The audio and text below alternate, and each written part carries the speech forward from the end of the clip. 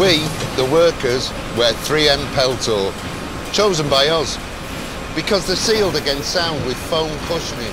They've been rigorously tested.